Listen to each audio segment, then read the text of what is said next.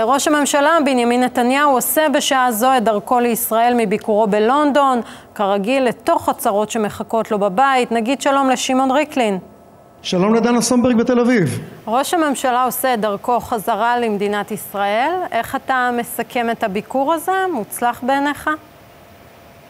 אני חושב שבסך הכל היה ביקור מוצלח, אפשר היה לראות שהיינו בדאונינג 10, את הכימיה הטובה בין תרזה מיי לראש הממשלה, את היחסים הטובים, ואולי הכותרת הכי חשובה שיוצאת מכל בליל הדברים הרגילים שאנחנו שומעים, פלסטינים, איראן, זה שראש הממשלה אומר מספר פעמים, שיתוף הפעולה בין ישראל לאנגליה הציל, הציל ישראלים, ובעיקר הציל הרבה מאוד אנגלים. כלומר, ישראל מונעת הרבה מאוד פיגועים בתחומי אנגליה, וזה דבר שממשלת אנגליה יודעת מאוד להעריך. כן, אז ראש הממשלה חוזר אל הקלחת הפוליטית שמחכה לו בארץ. אנחנו רואים מקורבים לו שנחקרים בפרשת הצוללות, שוב, גם חוקים שכרגע לא עוברים, כמו חוק ההמלצות.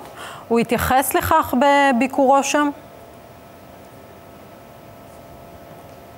אני יכול להגיד לך שגורם בכיר בלשכת ראש הממשלה אומר לנו שהברנז'ה יכולה לקחת שלושה לימונים, להוציא מהם הרבה, הרבה מאוד לימונדה ולשתות בבת אחת, ואולי זה ימחוק להם את החיוך הזדוני שיש להם על הפנים כאשר כל פעם הם שומעים שמישהו ממקורב מעוכב לחקירה.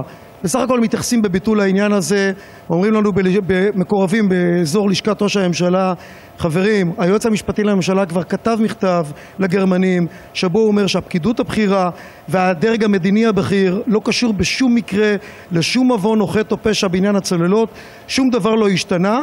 הם מוסיפים, מעניין שכל פעם זה קורה כאשר ראש הממשלה בדרכו לחוץ לארץ או כאשר הוא חוזר לארץ. הם לא מוטרדים בכלל מפרשת הצוללות, ברור להם שהוא לא קשור. כן, ומה לגבי החוקים שמיוחסים לחקירות ראש הממשלה, גם החוק הצרפתי, גם החוק שאוסר על המשטרה להגיש את המלצותיה. אנחנו רואים כאן בארץ התנגדות חריפה של השר לביטחון הפנים גלעד ארדן. באופן רשמי לא מתייחסים כאן לסיפור הזה, גם אני יכול להגיד לך שמקורביו אומרים שהוא לא עוסק בזה והוא לא תומך בזה. נראה שאם את שואלת אותי, נראה לי שהוא היה רוצה שחוקים כאלה יעברו כאלה ואחרים.